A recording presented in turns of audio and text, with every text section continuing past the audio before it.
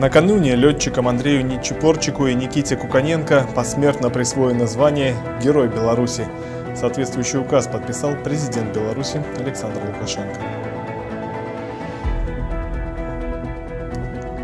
Продолжается реконструкция парка имени 30-летия в ЛКСМ. Там уже начали устанавливать новые лавочки. Здравствуйте, уважаемые телезрители! В эфире программа «Вести Барановичи». 1 декабря с 8 до 11.00 по телефону 67 11 66 проведет прямую линию первый заместитель начальника инспекции Министерства по налогам и сборам Республики Беларусь по городу Барановичи Людмила Бабей. В этот же день с 8 до 11.00 по телефону 66 29 28 проведет прямую телефонную линию первый заместитель начальника инспекции Министерства по налогам и сборам Республики Республики Беларусь по Барановичскому району Александр Тимощик.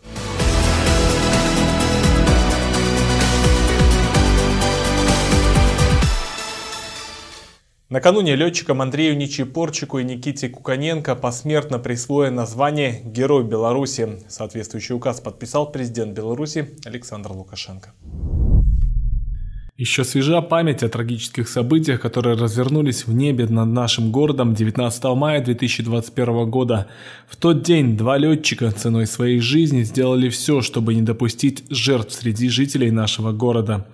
Сегодня о трагедии напоминают венки и цветы на месте падения самолета. Сюда их приносят неравнодушные люди, чтобы выразить дань уважения погибшим пилотам.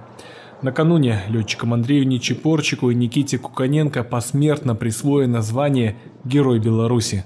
Соответствующий указ подписал президент Беларуси Александр Лукашенко. Командир и летчик учебно-боевого авиационного звена учебно-боевой авиационной эскадрильи 116-й гвардейской штурмовой авиационной базы военно-воздушных сил и войск противовоздушной обороны вооруженных сил удостоен этого высокого звания за мужество и героизм, проявленные при исполнении воинского долга. Присвоение указом президента Республики Беларусь э, майору Нечепорчику и лейтенанту Никите Куканенко звания в Героя Беларуси посмертно э, важный с точки зрения увековечения памяти и патриотический шаг э, в истории нашего города, в истории государства. Тот подвиг, который они совершили в мае текущего года, э, будет надолго храниться в памяти жителей города Барановичи, в памяти родных и близких погибших героев. Свежа память и у жителей данного района, которые с момента трагедии уже считали их героями. И несмотря на то, что следов катастрофы уже практически не осталось, память сердца останется у них навсегда. Я считаю, что заслуженно так уходили, так э, спасали всех людей, всех. Э, спасибо им большое. Да, мы согласны, что здесь э, должен стоять какой-то памятный знак. Памятный знак, увековечивающий подвиг героев в Беларуси, будет установлен непосредственно на месте их гибели. Автором идеи памятного знака стал майор Александр Чернышов, который служит в 61-й истребительной авиационной базе. Он предложил изобразить на памятном знаке двух кованых журавлей, улетающих в небо. По задумке автора проекта, птицы летят на фоне силуэта самолета Як-130.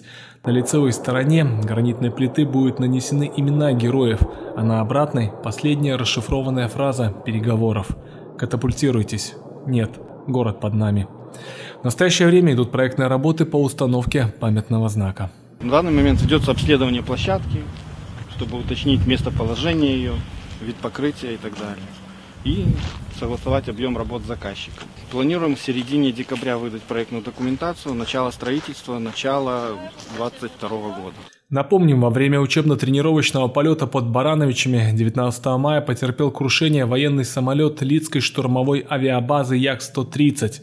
Погиб экипаж, командир звена учебно-боевой эскадрильи 116-й штурмовой авиабазы майор Андрей Нечепорчик и летчик звена учебно-боевой эскадрильи на Як-130 116-й штурмовой авиабазы лейтенант Никита Куканенко.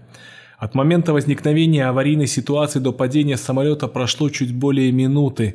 В этих условиях неимоверными усилиями на высоте около 50 метров экипажу удалось стабилизировать направление полета и направить Як-130 в единственную точку, которая была вне жилых построек. Как было установлено позже следствием, причиной трагедии стал отказ системы управления самолетом. Елочные базары начнут работу в Баранчах с 21 декабря по 31 декабря. Режим работы елочных базаров с 11 до 19.00 без выходных. Елки можно будет приобрести на территории лесхоза по улице Маяковского, 7. На площадке на улице Минска, рядом с домом номер 12 ТЦ «Афган Сервис». На площадке рядом с магазином Еврооп на улице Франциска Скорына, 17А. На парковке по улице Текстильной, 14А, рядом с магазином Евроопт. На площадке по улице 50 лет БССР у магазина Алми и на площадке по улице Тельмана, 165 у магазина Алми.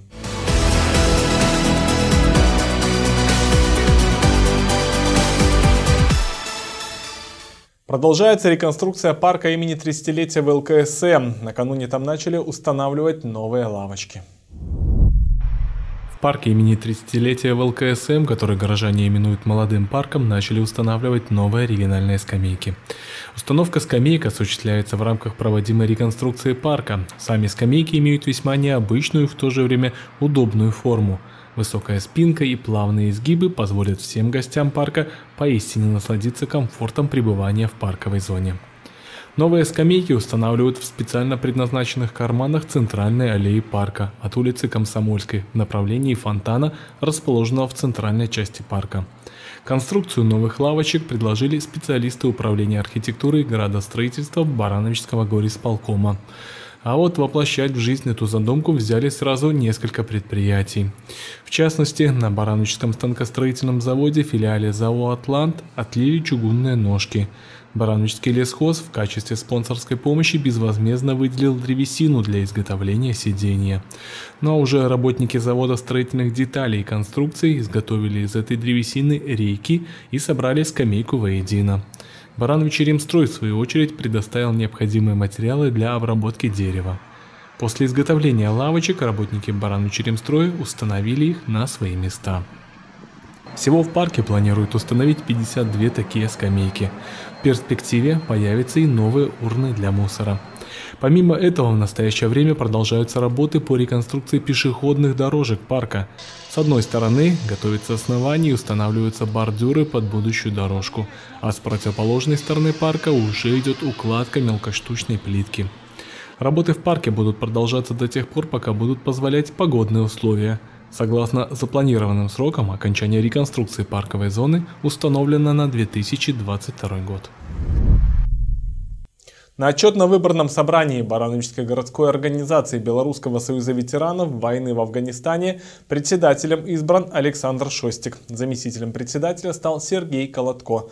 Полностью обновлен Совет городской организации в составе 9 человек. Сейчас на учете состоит 502 бывших воина-интернационалиста.